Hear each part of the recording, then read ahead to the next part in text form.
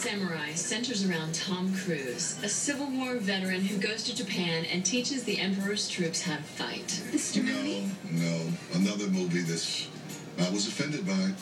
The, I mean, Hollywood is crazy.